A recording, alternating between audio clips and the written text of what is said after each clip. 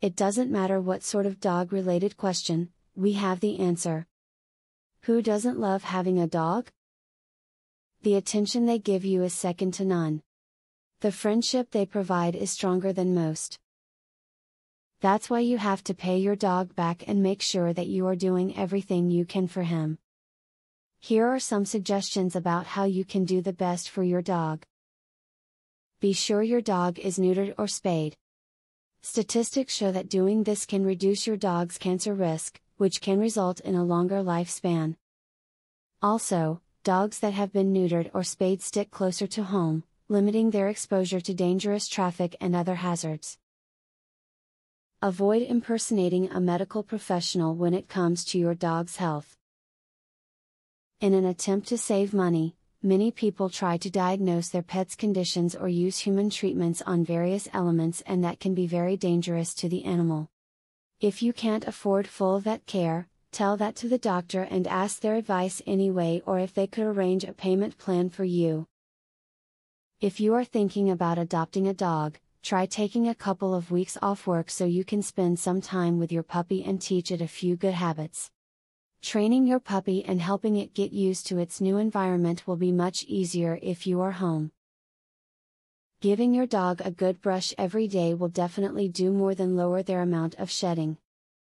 Brushing daily will give them a shiny, beautiful coat. The reason for this is that brushing helps distribute the skin's oils throughout the coat to condition the fur and skin. You may be tempted to use your favorite hair shampoo on your dog, but this should not be done. Human shampoo can cause dog skin to dry out.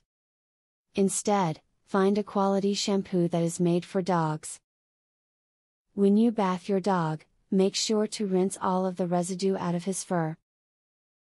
If you want a dog that behaves well, you must take the time to properly train it. If you do not do this, then you will almost surely be dealing with behavioral problems for the length of the dog's life. Training is the only way that you can prevent this from happening. Never leave a dog outside for long periods of time. Many people do this, but dogs need interactions with others. Your dog may be lonely if it is just him. Plan on bringing your dog inside when the weather is rainy, snowy, very hot, or very cold. Keep your dog in comfortable housing. They should be able to rest off the floor and away from drafts. A training crate is a good choice or any covered shelter outside. Try placing a dog bed inside that has a warm blanket or a pillow inside. Wash the dog's bedding frequently. After watching this video, Hopefully, you now have some ideas in mind to ensure that your dog gets the care he deserves. He certainly deserves it, as he gives you plenty of attention and love. Make sure you put these tips into action, so that your dog can get the benefits. A professional dog trainer reveals 21 brain games that will skyrocket your dog's intelligence, obedience, and overall behavior.